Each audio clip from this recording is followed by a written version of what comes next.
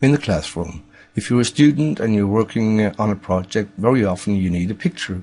And the most common way to do that is to go to the internet to find a picture from the URL or URL as we say.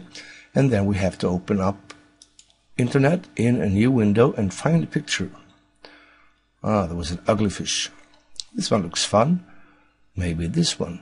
I can see the size here, it's 461 pixels, so it's uh, going to do the job for me. It's good enough to have in Writer. So I want to see the picture in full size, like this. I move to the top and left click, so it's all highlighted. And I hold down Control and C, then I've copied the uh, URL up here. I go back to Pixlr, and now we open the image from the URL, like this.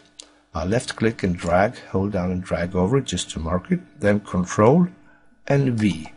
And I've copied in the address here. So now it's loaded up to my computer and into Pixlr. Very easy, very convenient. You do with this picture as you do with pictures from your own camera. No problem.